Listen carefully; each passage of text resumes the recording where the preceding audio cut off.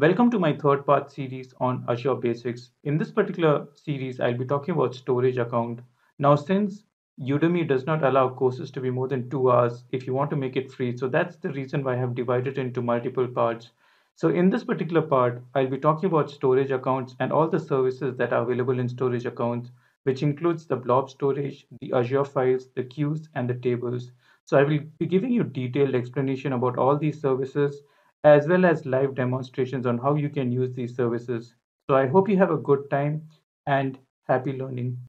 Okay, so now let's talk about storage account. Storage account is arguably the most important service in Azure after your compute service.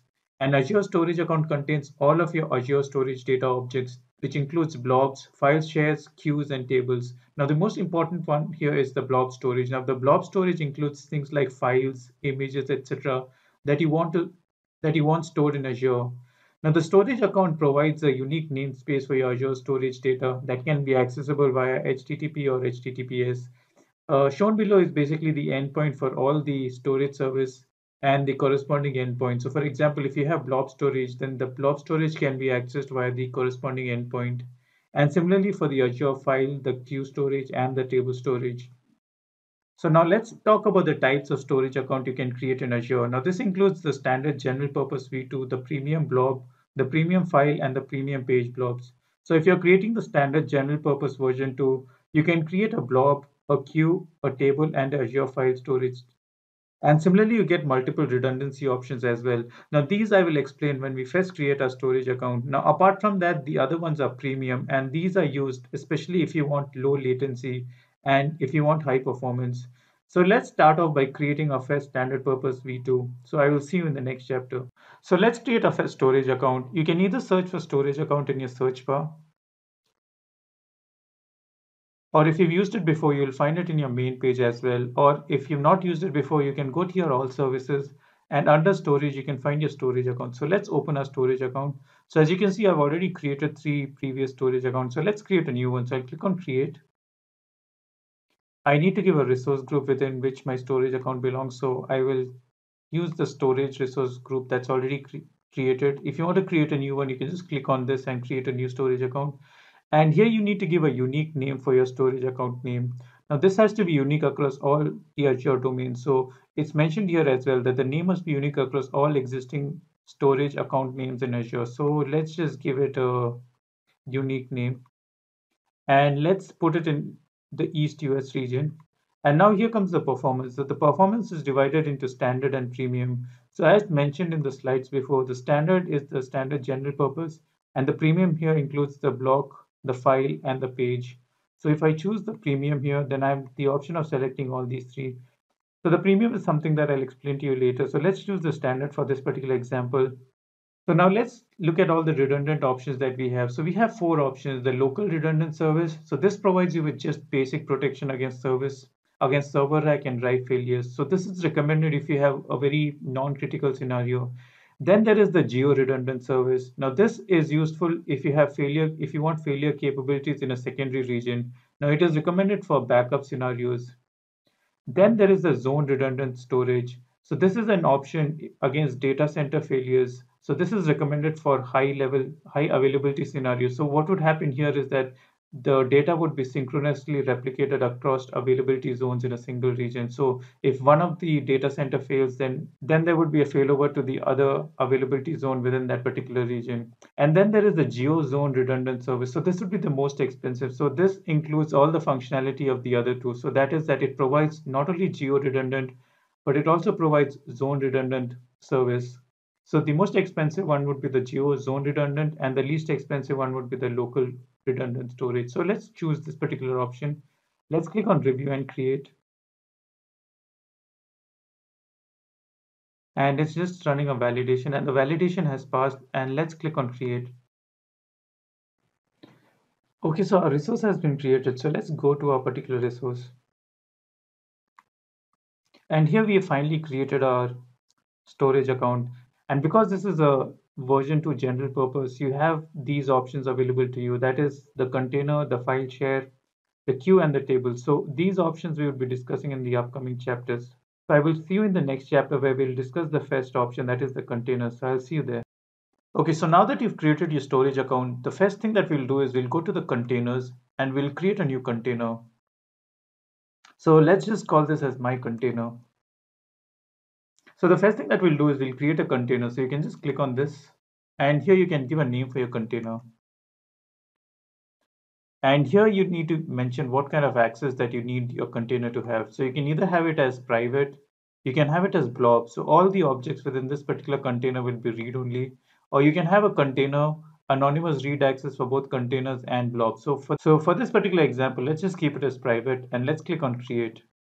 Okay, so once I've created this particular container, let's upload a few objects into it. So I will click on upload and within this, let's upload a text file. So I will just upload this firebase.json file.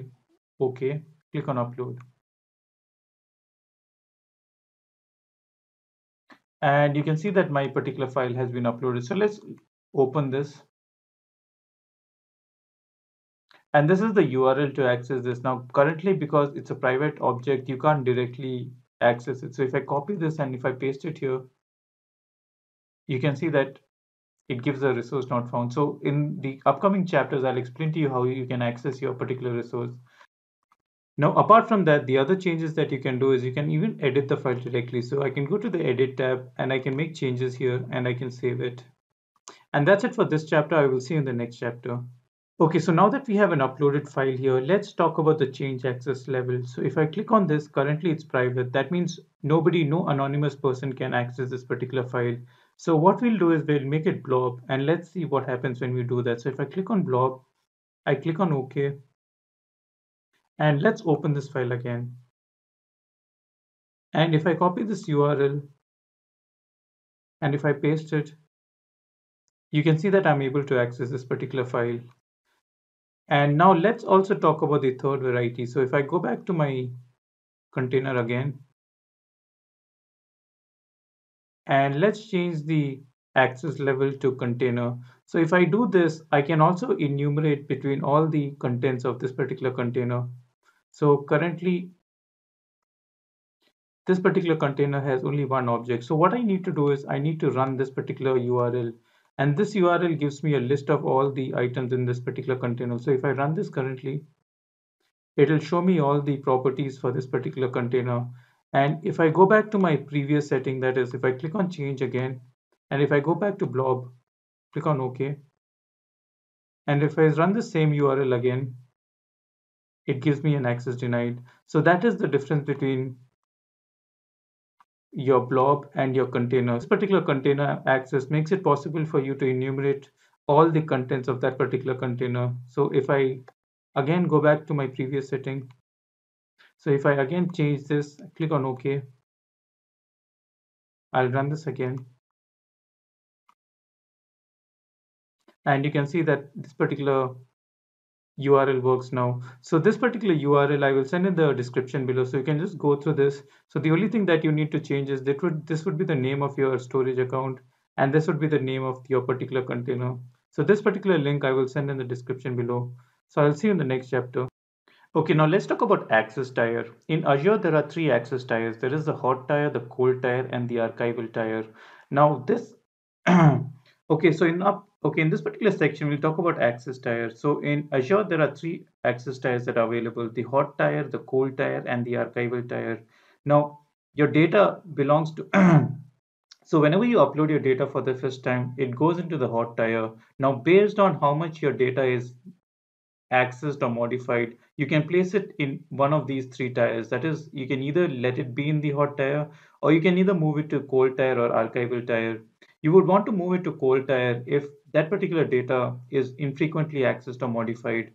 And the data in the cold tier should be stored for a minimum of 30 days. The cold tier has a lower storage.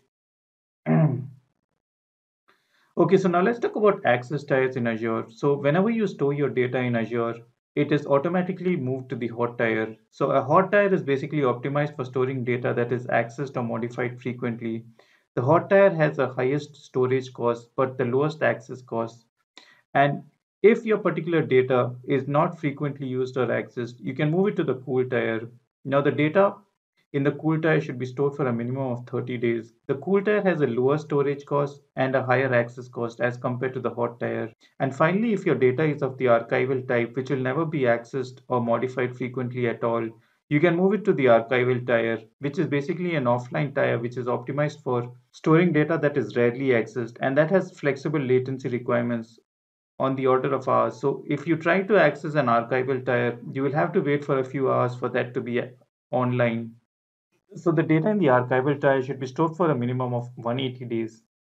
So let's see how you can move your data from hot tier to cold or archival tier. So, so here I have an index.html type. So I can just click on this and here I can change this particular tire. I can either change it from hot to cold or I can change it to archive. So let's just change it to cold and let's click on save. And this particular data is currently of the access tier cool. Now, similarly, we can change this from cool to archival as well. So in our next chapter, we'll talk about lifecycle management where we can set up a rule so that it automatically updates a file's tier type from hot to cold or from cold to tier or from cold to archival based on that particular rule. So I will see you in the next chapter. So in our previous chapter, we had seen access tier and how we manually moved the access tier of a particular object from hot to cold. Now this can be done in an automated fashion as well and it is recommended that you do it in an automated fashion. So to do that you can go to your data management and under data management you can see lifecycle management. So here you can add a particular rule. So this is very straightforward and very easy to do. So you just need to give a name for your rule. So I'll just call this as blob rule. And this is applicable for all the blobs in your storage account and you can have it just for the block or the append blobs and again the subtype can again be just the base blobs you can have it either for snapshots as well as for versions so what we'll do is i'll click on next and here you need to give the rule. So any base blob that was last modified so here you need to mention the 10 number of days. So let's assume 10 days. Then what i uh, what i can do is i can either delete that particular blob move it to cool or archival storage. So let's move it to cool storage and let's click on add.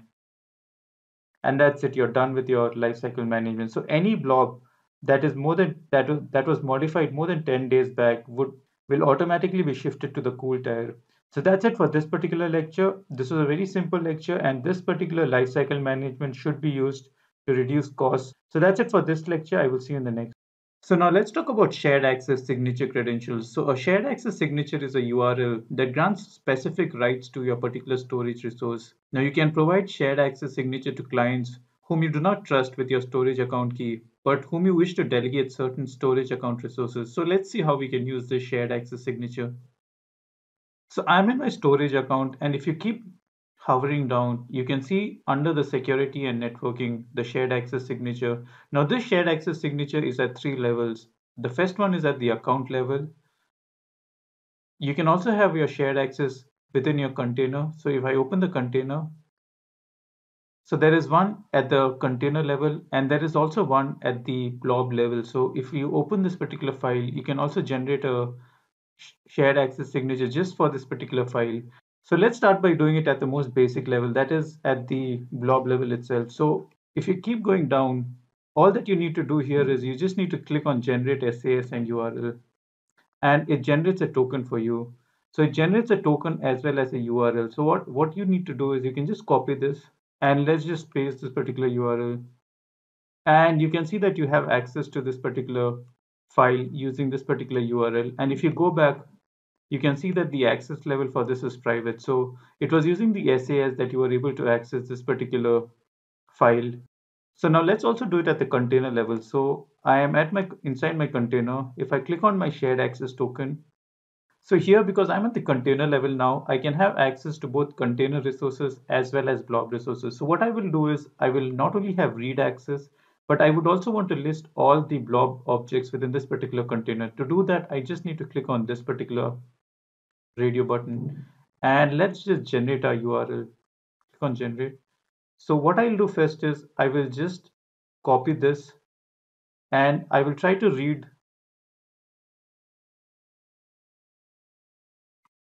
this particular firebase.json, but this time I will use the container security access to read this particular file. So let's do that.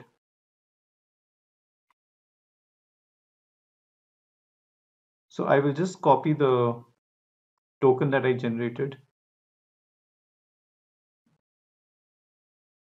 And here I need to specify the name of my file. So this is the name of my container and the name of my file is firebase.json and a question mark. So let's see if I'm able to read this particular file.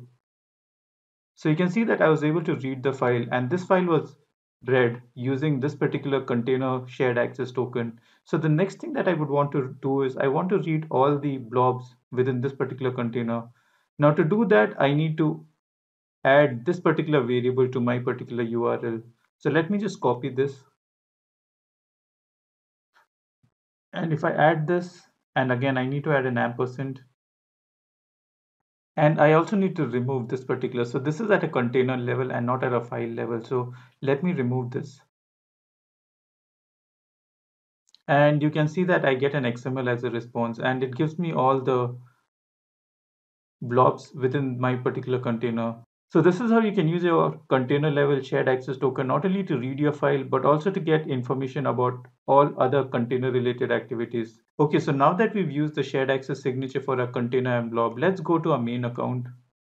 And what we'll do is we'll create a shared access signature for our complete account. So to do that, you can just click on your shared access signature here. And here it gives you all the service to which you can have access. So it includes the blob, the file, the queue, and the table. So for the timing, we'll just leave these three because we're not using it. Of course, we'll come back to these when we talk up in depth about these three services as well. And here you can specify whether you want your shared access signature to have access only to this particular service, to a container within this particular service, or to the object. So what we'll do is we'll have all three. So I'll tick on all three. Now, if I, let's suppose if I do not select this, then I will not be able to read any of the blob objects, even if I generate the signature. So now let's suppose I do not tick mark this. And if I create a SAS and a connection string, I will not be able to read my blob object. So let's try that out. So what I'll do is I'll copy this and let's try to read the firebase.json file. And let me remove this and I will paste my new signature.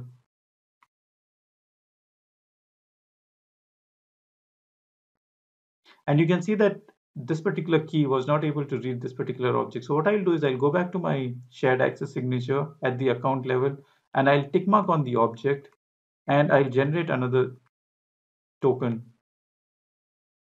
So I'll just copy this token again and let's paste it now.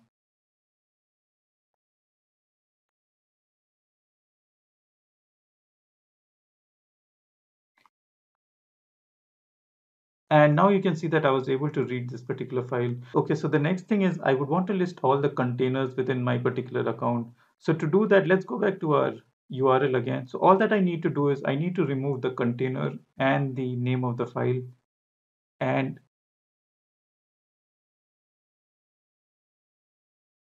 I will just do a comp equal to list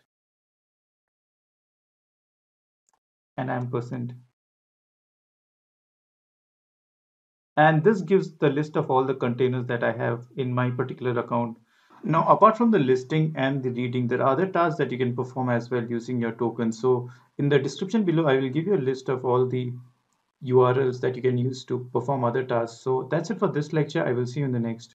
So in our previous chapter, we had used the shared access signature to give access to our Azure storage account resources. In this particular chapter, we'll be using Azure access keys to do the same. So whenever you create a storage account, Azure generates two 512-bit storage account access keys. Now these keys can be used to authorize access to data in your storage account. Your storage account access keys are similar to your root password for your storage account and they must be kept securely and safely at all times. You must never give your access keys to a third party or to somebody whom you do not trust. Now, if you want to give access, use the previous shared access me signature method. So now let's talk about two ways in which you can use your access keys. The first way is the CLI. The CLI would generally be used by DevOps teams or other teams which create scripts which interacts with your Azure resources directly. Whereas the SDK would be used by programmers or developers who want to access their storage account So let's go ahead and let's see how this works. So now before we proceed, let's talk about the Azure CLI. So the Azure command line interface is a set of commands used to create and manage Azure resources. The Azure CLI is available across Azure services and is, and is designed to get you working quickly with Azure with the emphasis on automation. Now, if you talk to the DevOps team or any other team which is involved with automation in your company, you will understand that those people, they use the CLI to create resources. So if you are a beginner to Azure, the easiest way for you to create your resource would be using the console. That is, you go to the console, you go to compute, you create your virtual machine. A much faster way of doing it would be using the Azure CLI. So there is an Azure CLI command to create a virtual machine.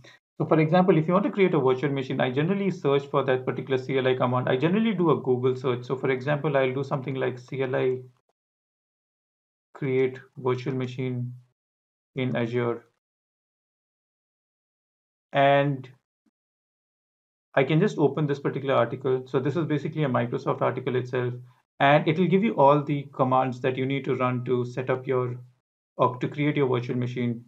So that's how simple it is. And the installation is also quite straightforward. So based on which particular operating system you are using, you can install your Azure CLI. So now let's go back to our main console. So here, if I go back to my storage account, so this is the storage account that I have.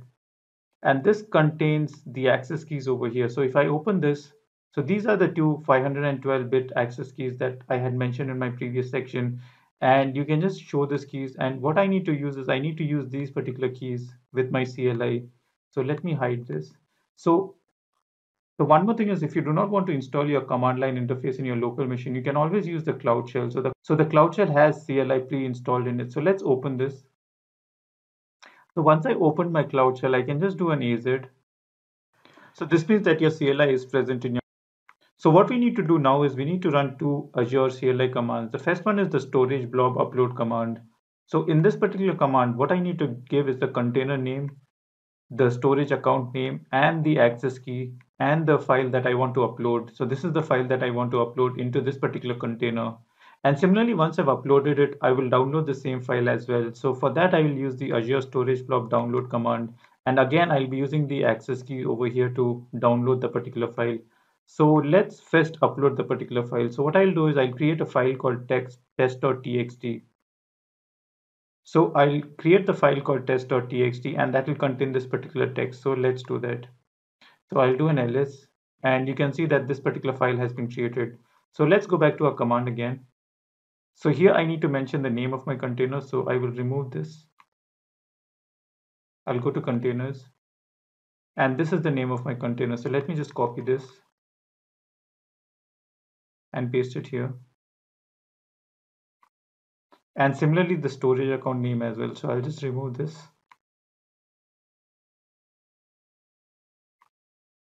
And this is the name of my storage account. So let me just copy this I'll paste it here. And finally, the important access key. So let me remove this. What I need to do is I need to go to my access keys.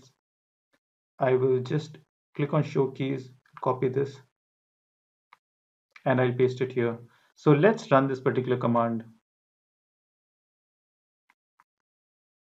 So I go back to my Cloud Shell again. I'll clear the screen and I'll paste this particular command. So let's run this.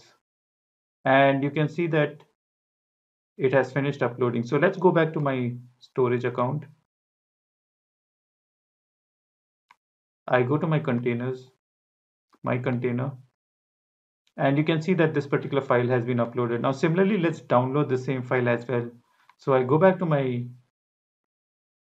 and here, let me just replace the container name with the same.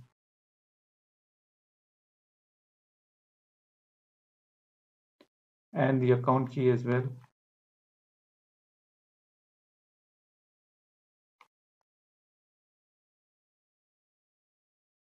And this is the account name, storage account name. I'll paste this.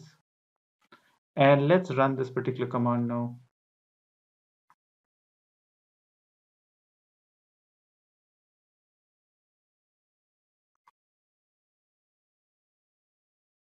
And let's do an ls and you can see a file got downloaded and this is the same file that we had mentioned in our CLI command as well. So this is the same file. So, so our downloaded file will have this particular name. So let's just open that particular file to see the contents.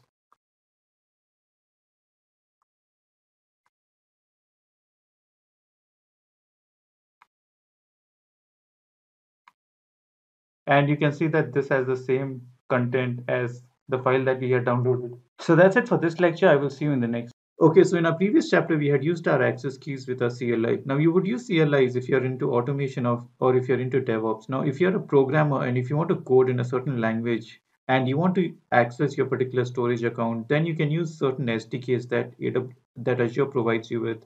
So let's see how we can use these SDKs along with our access keys.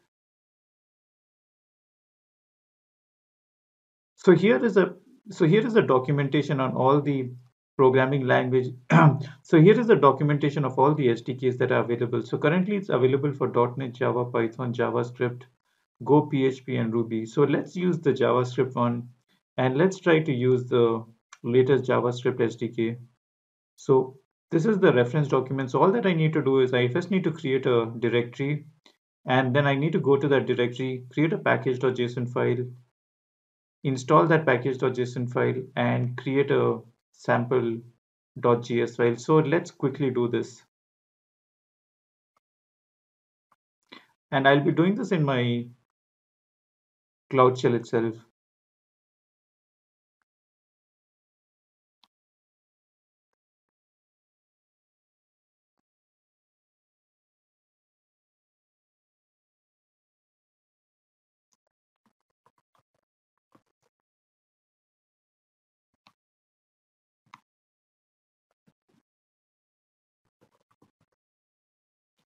I'll do an npm install.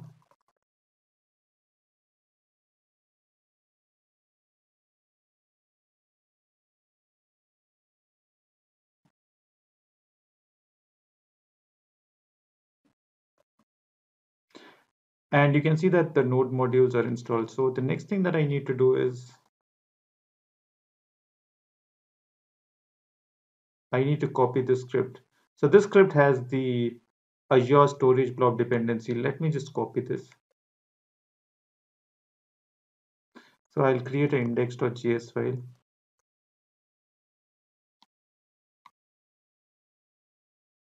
And once I've done that, let's go back to our.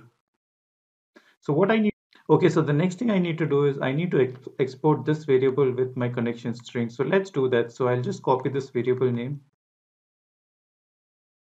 And let me exit out of this.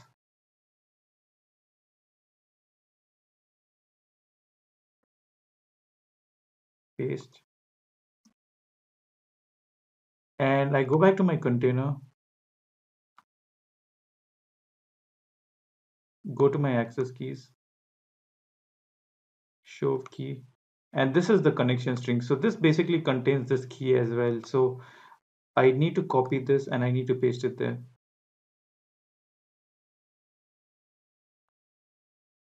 So this is basically the key that is included in this connection string as well. So let's save this.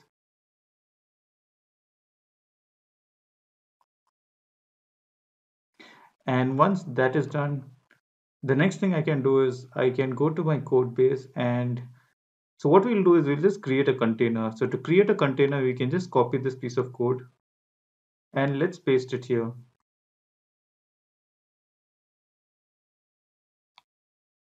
Paste.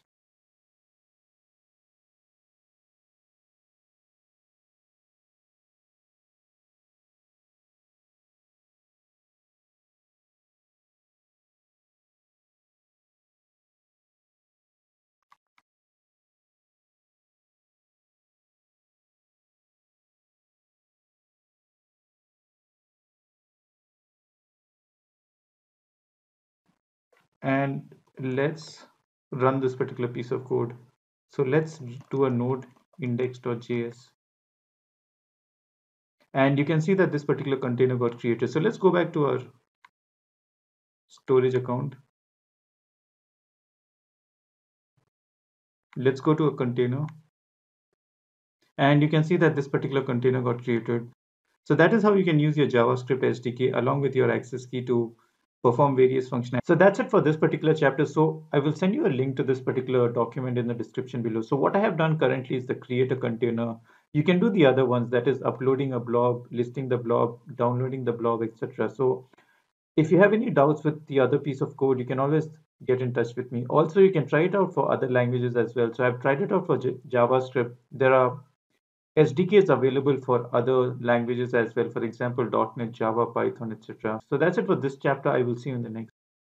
So now let's talk about a very important concept called managed identity. Managed identity eliminates the needs for developers to manage credentials. Managed identity provides an identity for applications to use when connecting to resources that support Azure Active Directory authentication. So how does managed identity come into the picture with regards to Azure Storage, which is basically the service that we are discussing. So this is how it works. So if you're using an Azure resource like a virtual machine, a function app, or any other compute resource, and this particular compute resource needs to access, let's assume an Azure Storage, or any other target. For example, you could it could even be an Azure Key Vault, an Azure SQL, then all that you need to do is you need to link your compute resource to a managed identity. And this managed identity should be given permissions to access any of the target resources, for example, the Azure Storage, the Azure SQL. And in this way, you eliminate the need for creating a separate access key or an SAS if you're using the Azure storage. So you do not need to worry about creating those access keys or tokens. All that you need to use is the managed identity. So this makes your life much simpler. So the only caveat here is that the source here must be an Azure resource or a resource that has connectivity to an Azure Active Directory. So let's go ahead and let's create an Azure virtual machine. And within that virtual machine, we'll create a managed identity. And that managed identity will be given access to an Azure storage account and we'll be able to access that Azure storage account directly within the virtual machine without having the need to create any extra credentials. So let's go ahead and let's do that. Okay, so let's start by creating a virtual machine. So I'll go to my virtual machine. Let me create a new virtual machine. So I'll click on create virtual machine.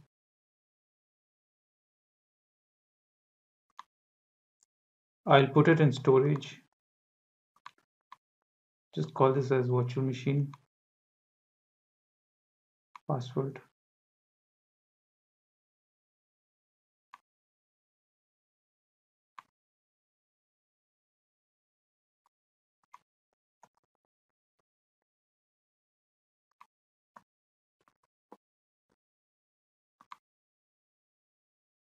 And let me click on review and create so I don't need to add anything extra so I will just create this particular virtual machine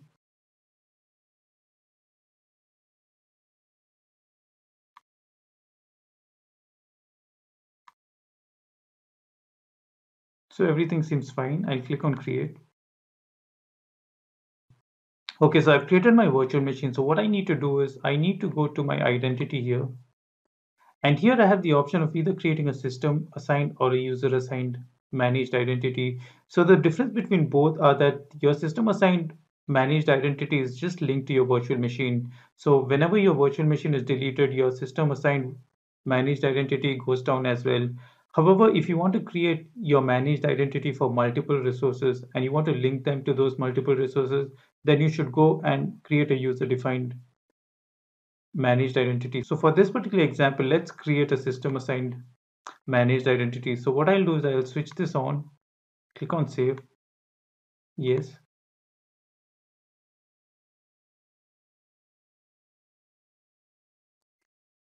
And this is the ID for my managed identity. So all that I need to do is I need to assign a few roles to my managed identity. So let's do that. I click on Azure role assignments.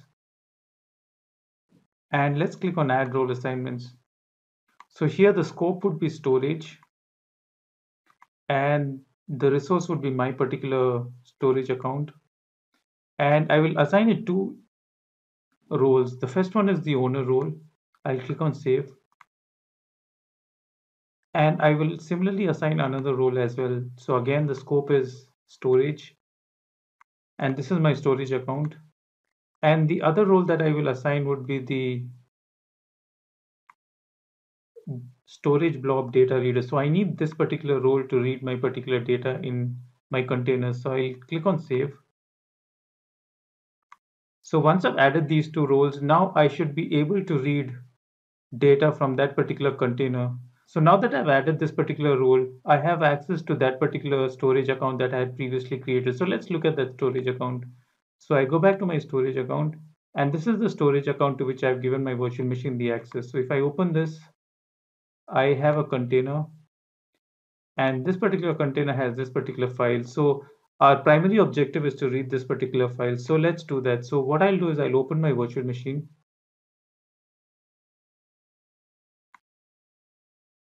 I'll use PuTTY to do that. Let's get the IP address of the virtual machine. So this is the public IP. I'll just copy this. Okay. Yes.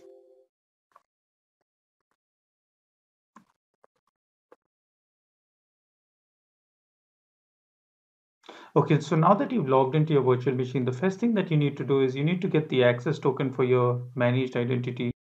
Now to do that, you need to make use of your metadata service. So your metadata service is basically an IP address that provides you all relevant information about that virtual machine.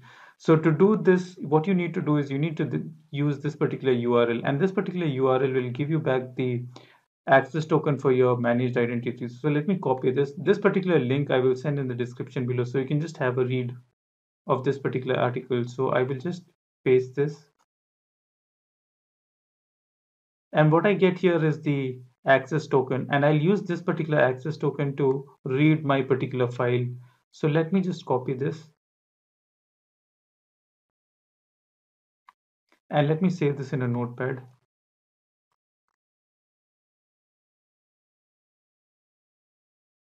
And once I've done that, I need to make use of this particular curl command to get access to my particular file.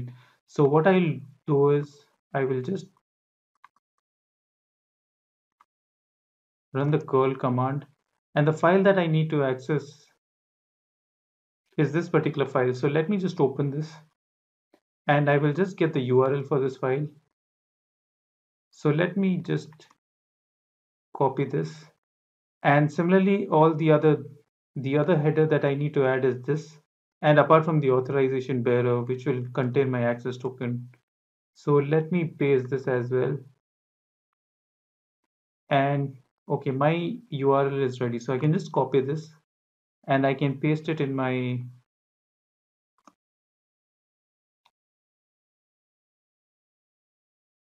Okay, there seems to be something wrong. Okay, I've added the client ID as well. So let me just remove this. So this, so let me just copy this again, clear the screen. And you can see that I get this particular output. Now this is the output of that particular file. Now to verify that again, you can just go to your file and click on edit and you can see that this is the content of that file and this is the same content that you see here as well so this is how you can actually read your particular file using your managed identity so i hope this was a useful lecture if you have any issues with this please do not hesitate to get in touch with me now this is a very important chapter because managed identity is something that you will always use whenever you're creating a virtual machine not just to access your storage account but also to access other services in azure so please make sure that you know a lot about your managed identity because like I said previously, it's a very important topic. So that's it for this particular topic. I will see you in the next. Okay, this is going to be a simple section on how to create a static website using your storage account. So you can open the storage account that you've created. Then under the data management, you can click on static website. And here you can enable your static website. And here you need to provide a path for your static website. So I'll provide an index.html as the path and similarly, you can also provide an error.html as the error document path. So I'll click on save. So once you save this, there's a dollar $web container that gets created. So if you keep going up, click on the containers and you can see a dollar $web container gets created. So you can just open this and within this particular container, you need to add your index.html as well as your error.html. So let's create an index and an error.html. So I've created an index.html. It just has welcome so I will save this and let's upload this particular file.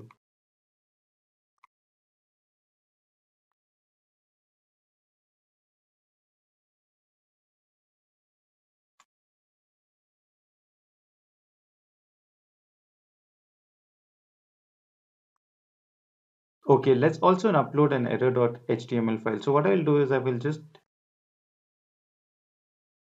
change this to page does not exist. And I'll save this as the error.html file.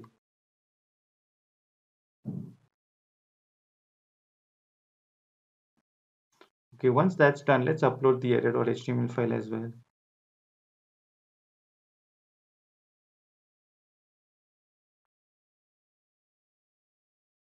Click on upload.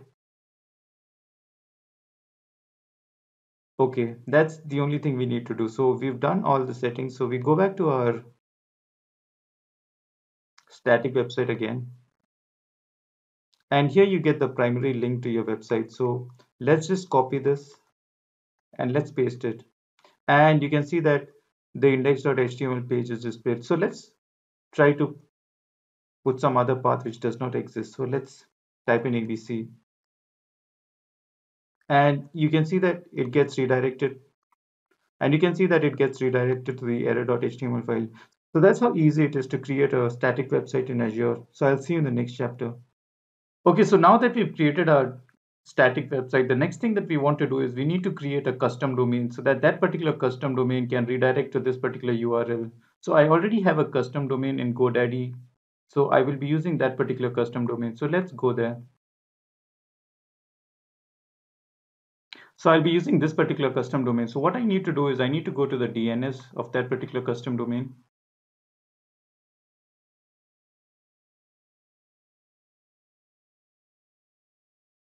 and then I need to add a CNAME. So what I'll do is I click on add here, a CNAME, and this has to be www, and this has to point to this particular endpoint. So let me just copy this, and let's just paste it here. Click on save. So I need to remove this part and this part, and I'll click on save. Okay, so once you've done that, the next thing that you need to do is you need to go to your networking, which is underneath your security and networking. So you can click on that and you have to go to your custom domain. And then here you have to specify the same domain. So let me do that as well.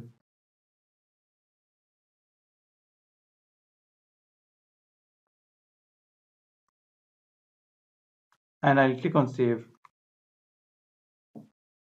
Okay, so our custom domain has been set. So we need to wait for a few minutes for this to be up. So let's wait for that process to happen. So I will see you in a few minutes. And finally, after a few minutes, after you lock into your custom domain, you can see this particular message. So that's it for this lecture. I will see you in the next. Okay, now let's talk about ways in which you can protect your storage account. The first and the simplest way is to lock your storage account. To do that, you can go to your storage account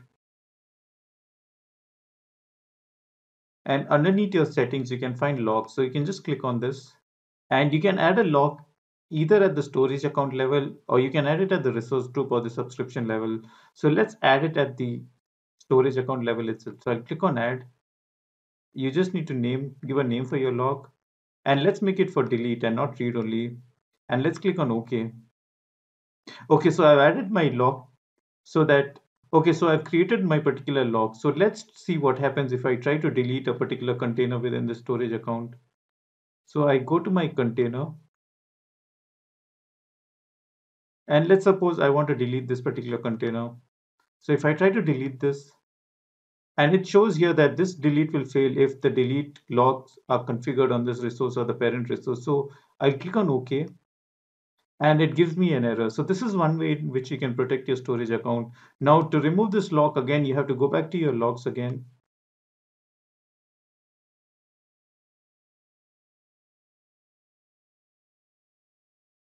I can delete this lock. And let's try to delete it again. So I go back to my containers. I'll click on this particular container and let's click on delete. I'll click on OK and this time that particular container was deleted. So that is one way in which you can protect your containers from getting delete, deleted. So that's it for this lecture. I will see you in the next. So now let's talk about soft delete. So whenever you create a storage account, you have the option of having your soft delete enabled. So let's create another storage account. Click on storage account, create one. And let's create it in the storage resource group. I have to give a distinct name for my storage account. So I will just call this as 01.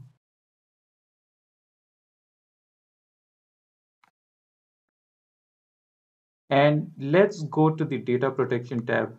And here you can see that by default, the enable soft delete for blob is enabled and so is the enable soft delete for container. So let's create a new storage account and let's see how this works. So let's click on review and create.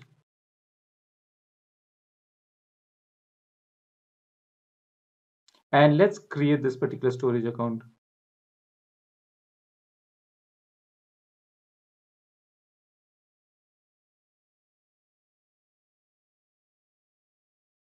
Okay, so I've created my storage account. So the first thing I'll do is I'll create a container.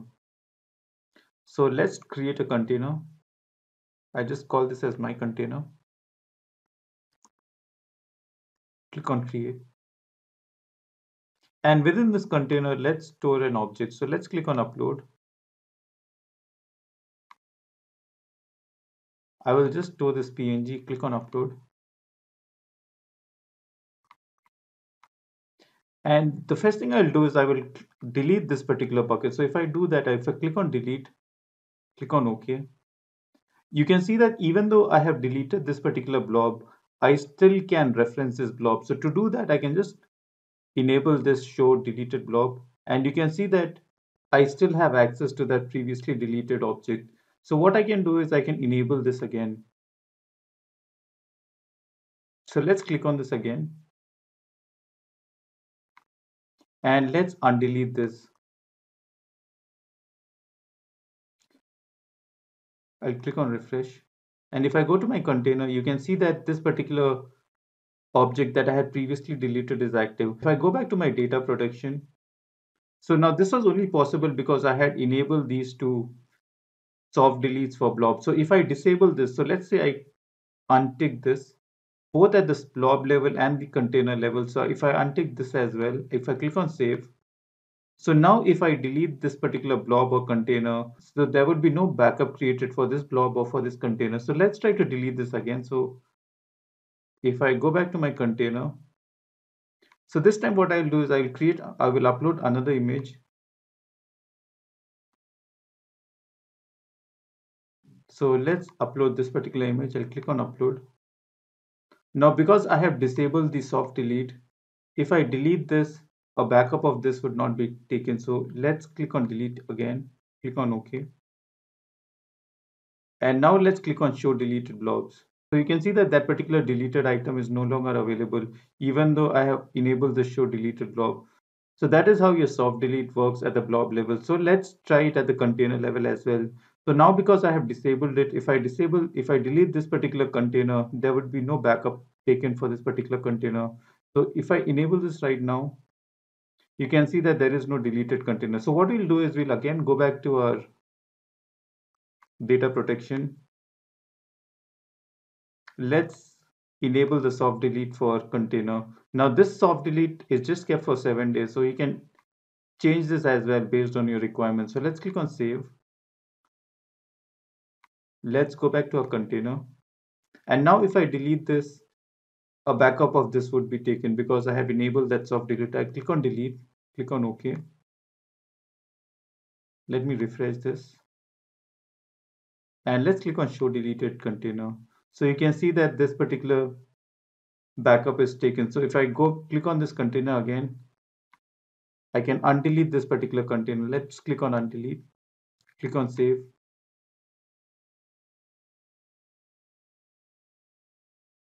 Okay, I think I need to wait for some time.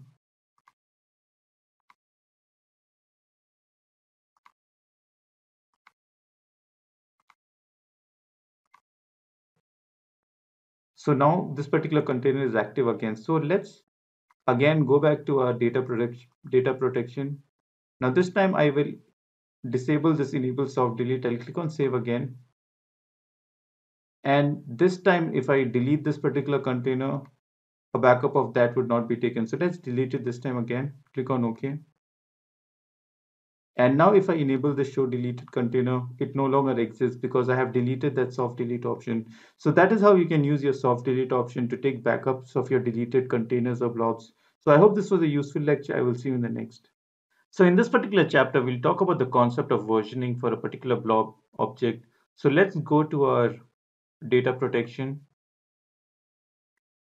And here underneath tracking, you can enable versioning for a particular blob. So what this does is that you can use versioning to maintain previous versions of your blob for recovery and for restoration. So I have currently enabled this. So let's go to a container. So what I'll do is I'll create a new container. I'll just call this as version. Click on OK. And within this version, what I'll do is I will upload a certain HTML file. I will upload this index.html file. I'll click on OK and I'll upload this file. And let's view the particular file. So let's go to our edit and if I click on edit here, you can see that this is how the file looks like. So the next thing that I'll do is I'll make a few changes to this particular file and I will re-upload the same index.html file. So let's open our index.html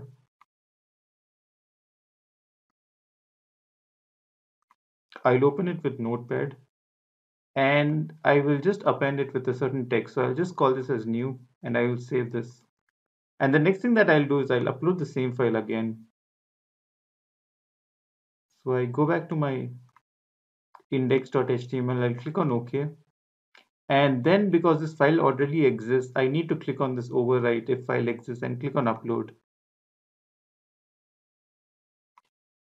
And now if I open this index.html file, if I edit this, so you can see this particular change is here now.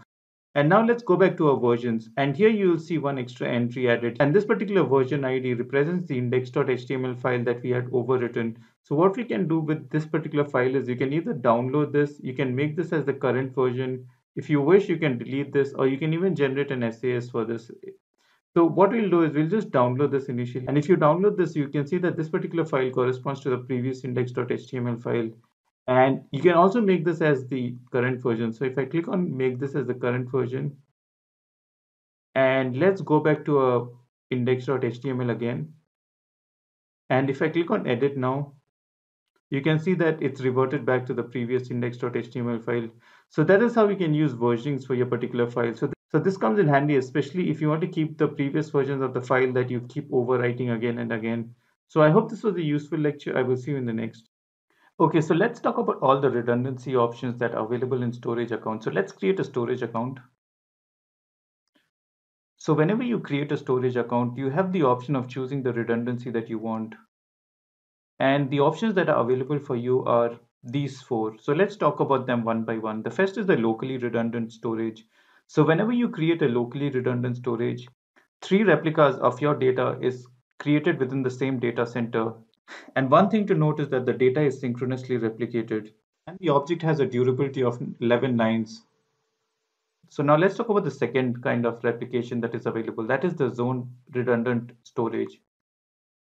So whenever you choose the zone redundant storage, your data is replicated across multiple availability zones within the same region. Now this gives the object durability of 12 nines and again the objects are synchronously replicated across all the availability zones. So this is a little more expensive than the previous one because the data is replicated across multiple availability zones. So now let's talk about the third kind of replication that is the geo-redundant storage. So whenever you choose the geo-redundant storage there are two kinds of replication that happens. The the first replication that happens is that your data is replicated three times within the same data center. So this is akin to your locally redundant storage. Now, once that happens, the second replication that happens is an asynchronous replication that happens within a secondary region. And within the secondary region, again, the data is copied, is replicated three times within the same data center. So this is the geo-redundant storage. Now this gives an object durability of 16 nines for a, for a given object for a year. And finally, let's talk about the geo zone redundant storage or the GZRS. So when you choose this, there are two kinds of replication that happens again. The first application is that your data is replicated synchronously across multiple availability zones. So across three availability zones, as you see here. And once this replication happens, the second kind of replication that happens is that it asynchronously replicates data into a secondary region and it replicates data three times within the same data center as shown here. Now this gives the same object durability as the previous one that is 16 nines. So now based on your particular application, you need to choose one of these four. Now, if your application is non-critical and does not require high availability, then you can choose the locally redundant storage. However, if your application is really critical, data critical, then you should choose the GeoZone redundant storage. Now, of course, the pricing matters as well. The GeoZone redundant storage would be much more expensive than the locally redundant storage. Now, the pricing for each of this I will send in the description below, so you can have a look at that. So that's it for this chapter. I will see you in the next. Okay, in this particular chapter, we'll create a geo-redundant storage. Now to do that, let's create a storage account. Let's click on storage account here. And let's put it in our storage resource group. And let's give a name for the storage resource. I'll just call this as geo. And here I have selected the geo-redundant storage. So let's, so that's all I need to do. I'll click on review and create, and I will create the storage account. Okay, my storage account is created. So let's go to that particular resource. So here, if you keep going down, you will see something called a geo replication that's under data management. So you can just click on this. And here you can see that your primary data is currently in East US and your secondary data is in West US and the data is asynchronously replicated from your primary to secondary. And here you can view all your endpoints. So let's do one thing. Let's create a container I'll click on container, call this as my container.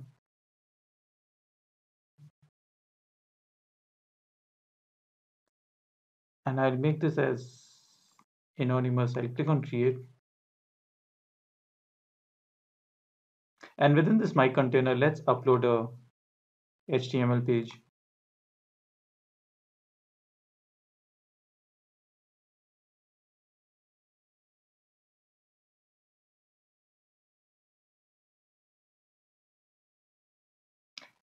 And once that is done, let's just copy this and let's paste it here. And you can see that I'm able to access this index.html. Now let's go back to our geo replication. So let's view all the endpoints. So for the primary, this is the endpoint that we have. We also have an endpoint for our secondary endpoint. So for example, our secondary blob search service endpoint would be this. So I will just copy this and let's see if this particular data has been replicated in the secondary region.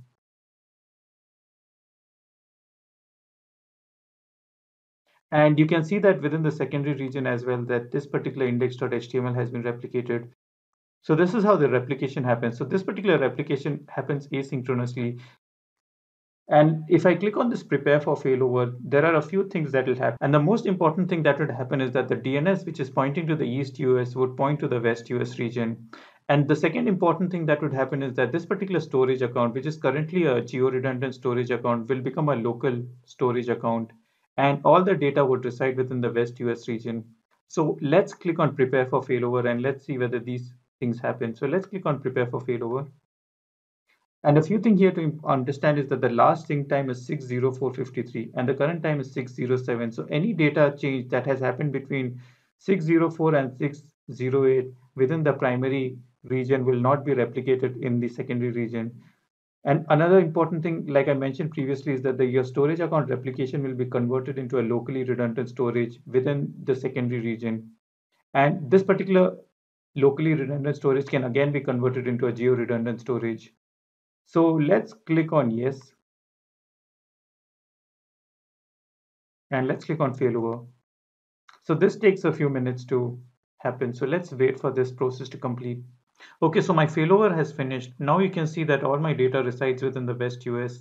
And let's click on all the endpoints and the endpoints remain the same. So I'll just copy this and I will just remove the secondary and let's try to access the index.html page. And you can see that I'm able to access this index.html page. And this particular URL is currently pointing to the West US region. And apart from that, the other thing that we need to see is that this particular storage account is currently a local redundant storage. So it's no longer a geo redundant storage. And if I go to my main overview, you can see that the location, even though is East US, there is a new primary location that is added. And this primary location is pointing to West US. So, and here again, the replication that is mentioned here is that this is a locally redundant storage. So it's no longer a geo redundant storage. And one final thing to note is that this particular storage account can be converted again from a local redundant storage into a geo redundant storage again. So that's it for this particular lecture. I will see you in the next. In this particular section, we'll talk about object replication. So object replication asynchronously copies blobs between a source storage account and a destination storage account. So what are the uses of object replication? So what are the main aims of using object replication? The first main aim is minimizing latency. So object replication can reduce latency for read requests by enabling clients to consume data from a region that is in close pro physical proximity.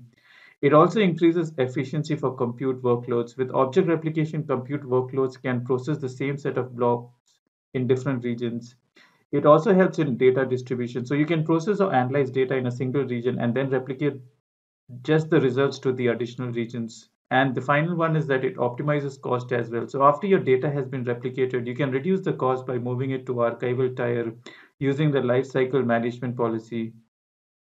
So these are some of the main uses of using object replication. So one thing here you can, so one thing here to note is that object replication's main aim is not high availability or faster recovery. Its main aim is to basically minimize latency and to optimize your workload. So let's see how object replication is done in Azure. In this particular lecture, we'll talk about object replication. So I have a storage account. So what I will do is I will create another particular storage account in which my objects will be replicated. So let me create another storage account.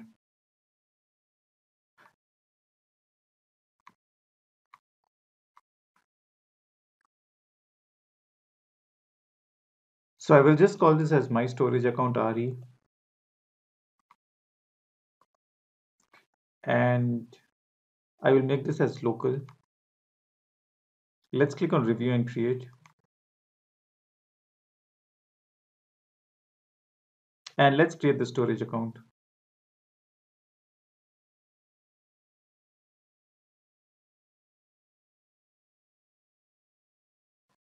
Okay, let's go to that resource.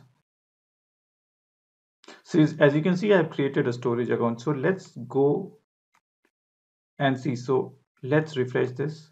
So as you can see, I have two storage accounts. So what I will do is I will go to my first storage account. And within the storage account, I have created a container called my container. So what I will do is I will make sure that I replicate all the contents of this particular container into my new storage account. So let's do that. So to do that, I need to go to my object replication. I need to set up a replication rule. So I'll click on this. So here I need to choose the destination storage account. So this is going to be the storage account that I've just created. So it's going to be my storage account RE. And I also need to select the source container. The source container is going to be my container. And the destination container is something that I need to create within my destination storage account. So let's do that. So I'm back in my destination storage account, my storage account RE. So what I'll do is I'll create a container here. I'll call this as my container as well. Click on create. And then let's go back to our old container. So let's refresh this again. So click on OK. Click up, click on setup replication rules. And let's choose my storage account RE as the destination. And let's choose the source container and the destination container. Again, the source container is my container and the destination container is just the container that we've created in our destination storage account. So that will that will also be my container. And that's it. I just need to click on save and apply. Okay so once i've saved it what i'll do is i'll go back to my container within my source. So i go to my my container and within this i will upload an object. So let's click on upload. And let's upload a random png file. So i'll click on this. I'll click on open and I'll upload this. And once I've done this, asynchronously that file should be, and once I've done this, this particular file should be asynchronously replicated in my destination source account as well. So it should be replicated within this container. So let's open this and let's refresh this. So this takes a bit of time because it's done asynchronously. So let's wait for this replication to be done. And finally, after a few minutes, you can see that this particular file is also available in my destination storage account within the same container that we've created. So that is how you can replicate objects between a source and a destination container. And these containers are within different storage accounts. So I hope this was a useful lecture. I will see you in the next. Okay, in this particular section, we'll talk about Azure File Share. Now, this is a service that is provided by the Azure storage account. So Azure File Share offers a fully managed file share in the cloud that is accessible via industry standards like SMB if you're using Windows or network file system if you're using Linux. Now, Azure File Share can be mounted concurrently by cloud or by an on-premise deployment. So some of the advantages of using file share includes shared access. So Azure File Share supports the standard SMB and NFS protocol, meaning that you can seamlessly replace your on-premise file share with the Azure File Share without having to worry about the application compatibility. It is also fully managed and can be created without the need of managing hardware or an operating system. So this means that you do not need to deal with patching the server OS with critical security upgrades or replacing faulty hard disks. Now there's also scripting and tooling available. So PowerShell commandlets and Azure CLI can be used to create, mount, and manage Azure File Share as part of the administration of the Azure application. You can create and manage Azure File, file Share using the Azure portal and the Azure Storage Explorer. So we'll be using the Azure portal to create our file share. There is also resiliency. So Azure File has been built from the ground to be always available. So replacing on-premise file share with Azure File means that you no longer have to wake up to deal with local power outage or network issues. Now, there is also familiar programmability. So that means that the developers can therefore leverage their existing code and skills to migrate their existing application. In addition to System IO APIs, you can also use Azure Storage Client libraries or Azure Storage REST APIs. So let's start by creating our first Azure file share. Okay, so I'm in my storage account right now. So let's create a first file share. So you can go to your file share here and you can create a file share by clicking on this icon. And you just need to give a name for your file share. And it gives a maximum capacity of 5 terabytes. And here there are three tiers that is available to you. So currently we just have the general purpose. So this is disabled. So all that we can choose is among these three. So let's choose the transaction optimized. And let's click on create.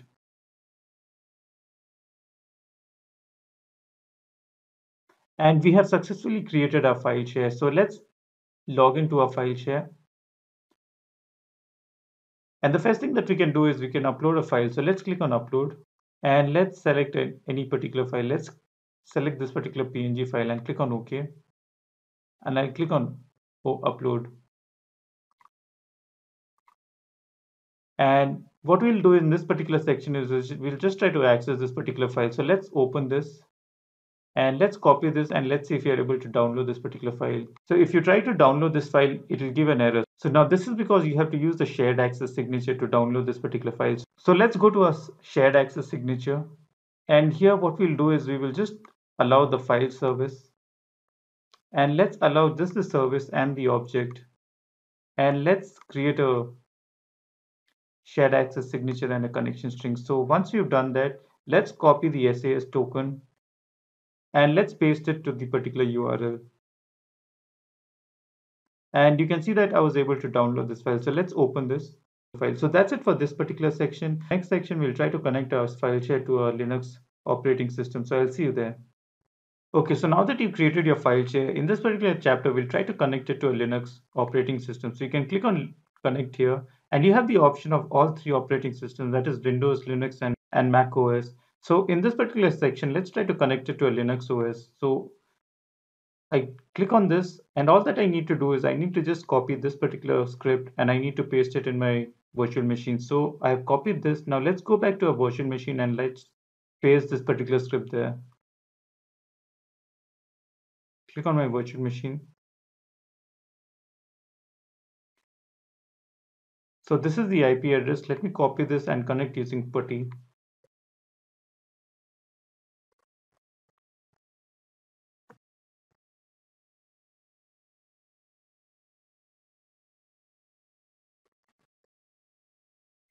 So once again, let's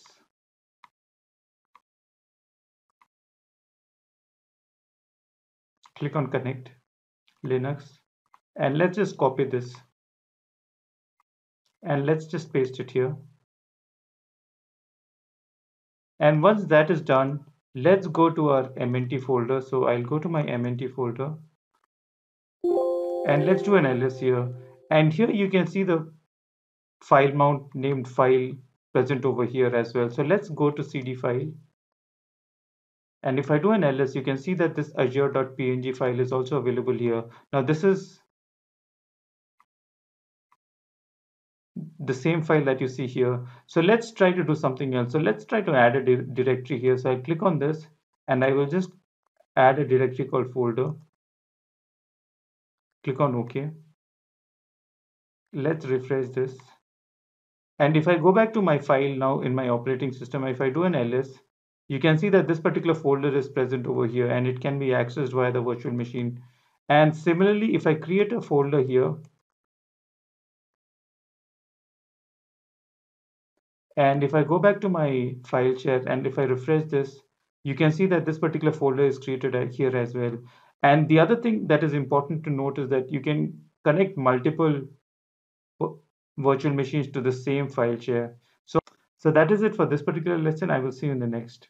Okay, so in this particular section, we'll talk about creating your snapshot for a file share. So I have created my file share here and it contains a few folders and files. So let's suppose that you are trying to create an application which would be accessing this particular file share and you're afraid that after your application has been deployed some of these files or folders might get deleted so in a situation like that it's always best to create a snapshot before you deploy that particular application so let's create a snapshot and let's see what happens so i go to my snapshots and i just click on add snapshot and i'll click on ok so the comment here is optional so once you've created your snapshot, you can go back to your file system and let's suppose that you've deployed an application which caused this particular file to get deleted. So let's delete this particular file. Click on yes. And if you want to retrieve this file back, you can always go back to your latest snapshot, the one which you took before your deployment.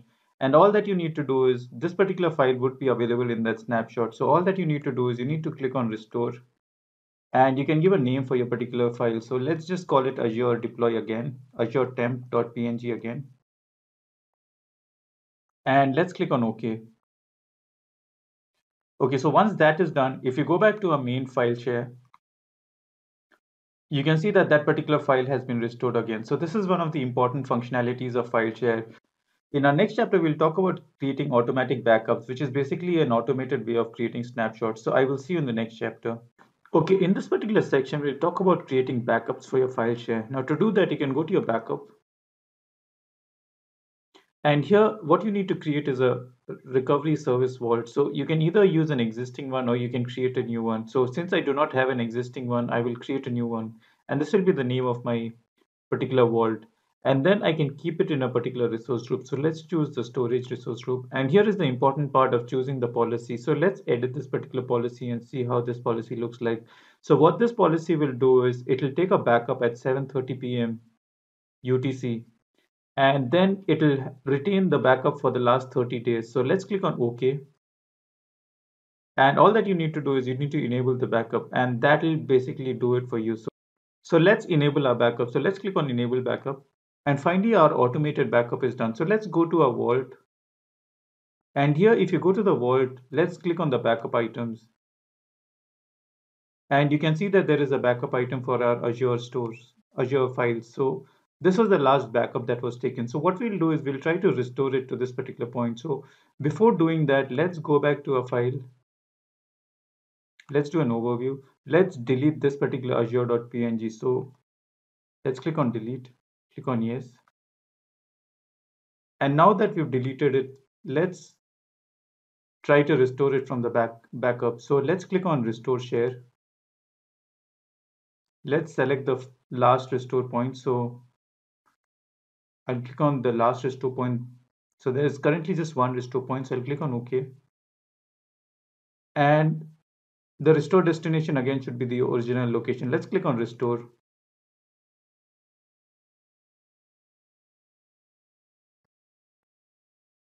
And finally, if you go back to our file share again, you can see that this azure.png that I had deleted has been restored back.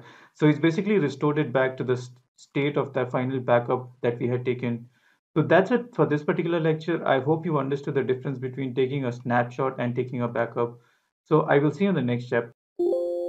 Okay, in this particular section, we'll talk about Azure Queue Storage. Now, this is one of the other services that is provided by our storage account. So the Azure Queue Storage implements a cloud-based queue to enable communication between components of a distributed application. Now, each queue can maintain a list of messages that can be added by a sender component and processed by a receiver component. Now, with a queue, your application can scale immediately to meet demand. Okay, so now let's assume that there are two applications. So one of the application will send the message to the Azure Queue service and this particular message will be required by the application receiver to further process that particular message. So once the queue storage receives that message, it will store it and then it will further send it to the application receiver for further processing that particular message.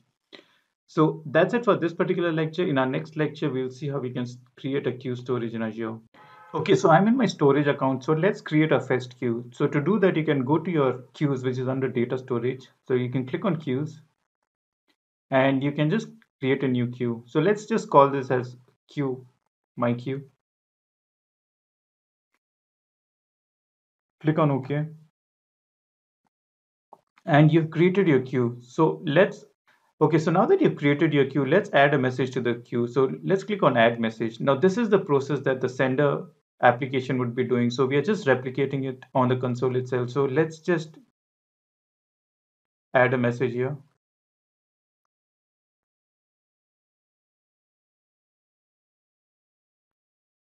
click on OK and let's refresh this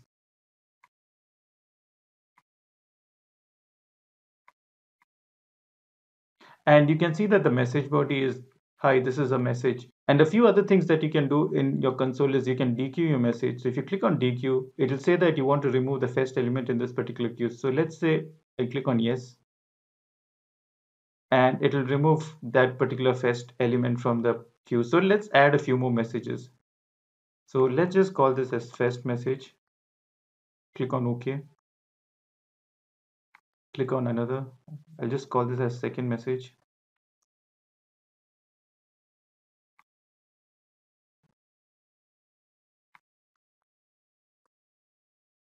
Click on OK. So now you can see that there are three messages in my queue. So let's see what happens if you dequeue this message again. So I'll click on dequeue, click on yes. And you can see that the first message from the queue was removed. And let's clear this particular queue. So to clear the queue, you can click on clear queue, click on yes. And all the messages from your queue will be deleted. So these are some of the functionalities you can perform in the console. So in our next chapter, we'll create a sample application and we'll see how we can use that sample application to make use of this particular queue. So I will see you there. Okay, so in this particular chapter, we'll create an application and this application will be divided into two halves. There'll be a sender and a receiver. So the job of the sender would be to send a to create a queue and once the queue is created, it will send a message to that particular queue that it has created. And the job of the receiver would be to receive that particular message that is sent to the queue. And once that is done, its job would be to delete that message from the queue. So let's see how we can create this particular application to create this particular application, I'll be using this particular documentation. So this documentation gives you all the code snippets that is required to create your application. So the first thing I'll do is I'll go back to my Cloud Shell and I will create a folder and within that folder I will create two separate applications. So let's do that.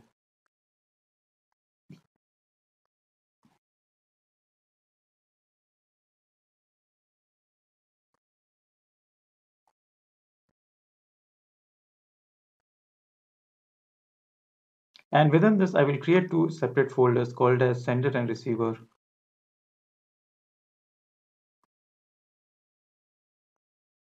So let's go to the sender folder first. And within this sender folder, the first thing I need to do is I need to create a package.json file and I need to install all the dependencies. So the main dependency here is basically the storage queue and this queue will and this particular SDK will let us create that particular queue. So let's copy this and let's paste it I'll create a package.json file.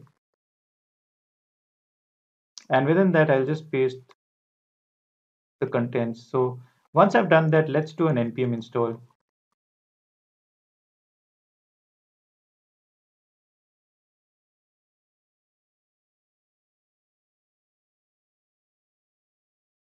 And let's do an ls now. And you can see that my node modules has been created. So similarly, I'll do the same thing for the receiver as well. So let's go back to the receiver.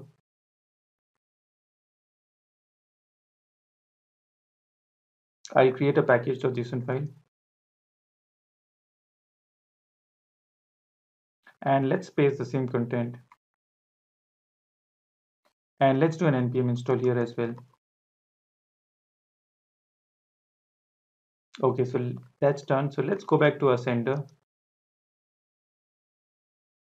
So let's create a code now. So let's do a create a file called index.js. And within this index.js file, the first thing I need to do is I need to copy the boilerplate. So this is basically the boilerplate that I'll be using, and it's going to be within this particular boilerplate that I'll be copying my code snippet. So let's copy this and let's paste it within this index.js file.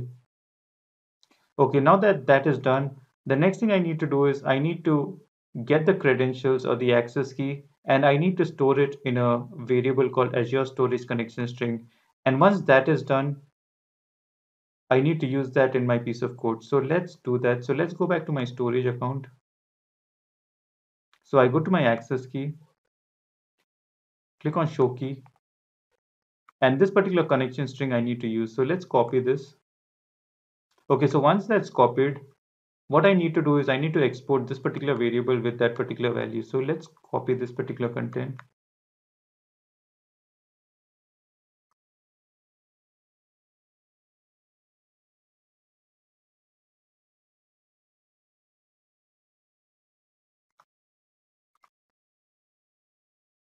And let's paste it. Okay, so that is done as well. So let's go back to a quick start. Okay, so now that we have your connection string, I need to get that connection string in my index.js. So to do that, I'll just copy this. And let's go back to our index.js file. Let's paste that variable at the top. Let's click on paste. So this particular variable is a path to my particular connection string that I just created. So once this is done, now comes the part where we need to add the code snippet. So let's go back to our quick start again. So the first thing we need to do is we need to create a queue. So to do that, I just need to copy this.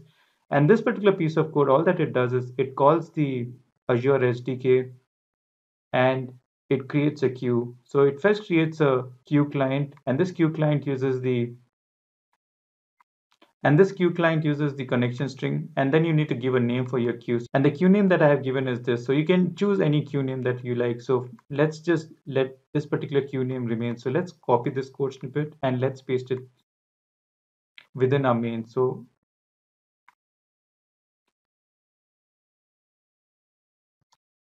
I'll paste it here.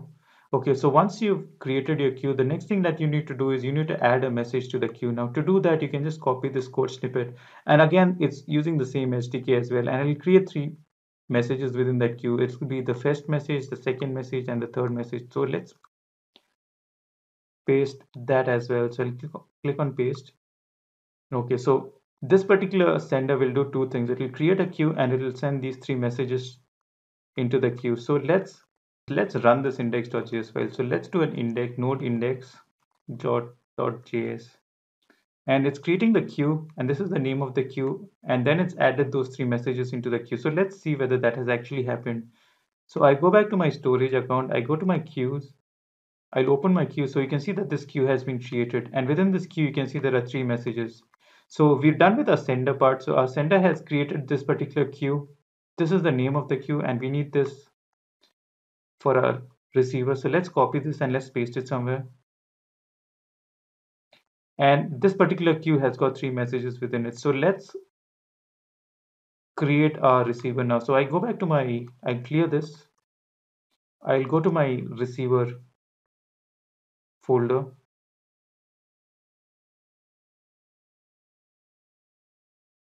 And within this, let's again create an index.js file.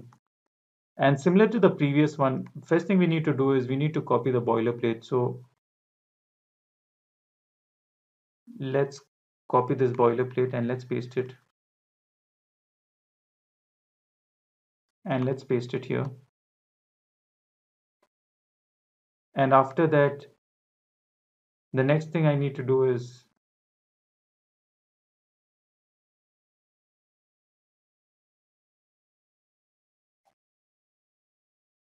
I need to get this variable in my code as well. So let's paste it here. Okay, so now that I have my access key within my code, let's get the snippet for receiving the message. So to receive the message, you need to copy this particular piece of code. Now, if you look at this piece of code, it is calling the queue client. So let's also get the queue client initialization code as well. So let's copy this first and let's paste it within our main. Now, as you can see that this particular piece of code or this particular code snippet also requires the queue client. So let's get that piece of line as well. So that line would be where we've created the queue. So this particular initialization has to be copied as well. And similarly, we also need to get the queue name. So let's copy this line.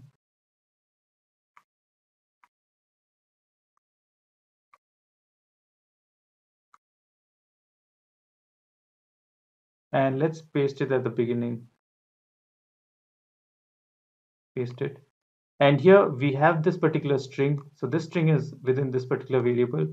And we also need to get the queue name. So let's hardcode the queue name for the queue that we've created. So let's replace this and let's replace it with this particular queue name. So this is the queue that was created by the sender. So let's copy this and let's paste it here.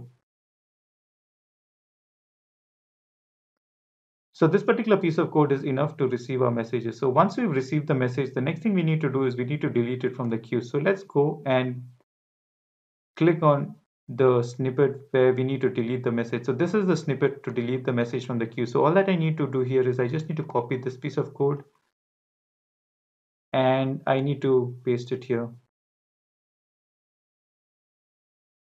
Now these code, now these snippets of code are very straightforward. And if you have any issues with trying to decipher them, just do not hesitate to get in touch with me. So this is very basic code. So now let's go through the piece of code again. So the first thing we are doing is we are receiving the message here. So these four lines of code, this is enough to receive our message. And once the message has been received, we are going to delete each of these messages. To delete it again, we, use, we are using the delete message function within the particular SDK. So let's close this particular file and let's run this particular application now. So it's receiving receiving the message and it has deleted all the messages from that particular queue. So let's go back to our queue and let's try to refresh this. So when I refresh this, all the messages should be deleted. And you can see that all these messages have been deleted. So that is how you can use your sender and receiver to receive, create, and delete the queue. So that's it for this particular lecture. If you have any issues with this, please do not hesitate to get in touch with me. And I will see you in the next lecture. Okay, in this particular chapter, we'll talk about the Azure Table Storage, which is one of the services that is provided by the storage account. Now, the Azure Table Storage is a service that stores non-relational structured data, also known as NoSQL data in the cloud, providing a key attribute store with a schemaless design. Now, because table storage is schemaless, it's easy to adapt your data as the needs of your application evolve. Now, access to storage data is fast and cost effective for many types of application and it is typically lower than the cost of traditional SQL for a similar amount of volume. Now, there is also Cosmos DB, which is another non-SQL database that is provided by Azure. So let's take a look at the difference between using Azure Table Storage and Azure Cosmos DB. Now, this particular page shows the difference between using your Azure Table Storage and your Azure Cosmos DB. Now, the important thing here is basically the latency. So even though Azure Table Storage is fast, but there is no upper bound on latency whereas Cosmos database has a upper bound on latency. So it is generally a single digit millisecond latency for reads and writes and backed with a less than 10 millisecond latency reads and less than 15 second millisecond latency writes at the 99th percentile at any scale anywhere in the world. So if your intention is to have low latency, then it's better to go for Azure Cosmos DB. Now the throughput is also another important factor to take into account. So, so the Azure Table Storage has a variable throughput model, whereas the Azure Cosmos DB has highly scalable, dedicated, reserved throughput per table that is backed by SLAs. And another important factor here is that the indexing for Azure Table Storage can only be done on the partition key and the row key. Whereas for Cosmos DB, the indexing can be done on all properties. So this is one important parameter that you need to consider. And the pricing is also for Azure Table Storage based on consumption, whereas for Cosmos DB it's based, so it can be based both on consumption or for provision capacity modes. Now the SLA is also another factor to take into account. So the SLA for Azure Table Storage is 99.99, whereas for Azure Cosmos DB it's 99.99 for a single region, and for multi-region with relaxed consistency it's 99.999 so so the finality is if your application needs to have low latency and higher throughput then it's better to go for azure cosmos db whereas for regular application which does not need high latency or throughput or even indexing just needs to be done on the partition and the row key then you can go for the azure table storage so now let's look at how we can create an azure table storage in the storage account so in this particular chapter, we'll see how we can create a table in your storage account. So to do that, you can just go to your tables under data storage, click on the tables, and you can just click on this particular icon and you need to give a name for your table. So let's just call this as my table. Click on OK. And you have created your table. So let's add some data into this table. To do that, you can go to your storage explorer. You can click on your storage explorer and just open this my table that you've created and you can just click on add and here you need to mention the partition key and the row key now one thing to note is only the partition key and the row, key are indexed so any other property that you add any other key value it will not be indexed. So let's add a property for your partition key. So let's add a value for your partition key. So I'll just call this as task. And the row key let's just give it the value 1 and let's add a property. So let's just call this as name. And let's click on insert. And similarly you can keep adding more and more values. So another task let's add the row key as 2 and the name would be to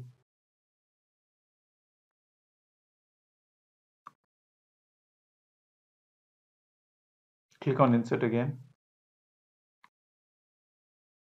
And this is how you can add data into your table. So let's click on query again. And here you can query for your particular data so for example if I want to query for all the values which has partition key equal to task so let's just remove this and let's run this particular query or let's add a clause so the clause that I would add is that I would want the row key equal to 2. So it'll just display the second row. So let's click on and you can see that it just displayed the second row. And let's add a final name equal to clean room. And let's remove the, let's run this particular query. And similarly, you can see that the second row was outputted. So this is how you can run your query. So that's it for this lecture. In the next lecture, we can see how we can programmatically create a table and insert data into it. So I'll see you then.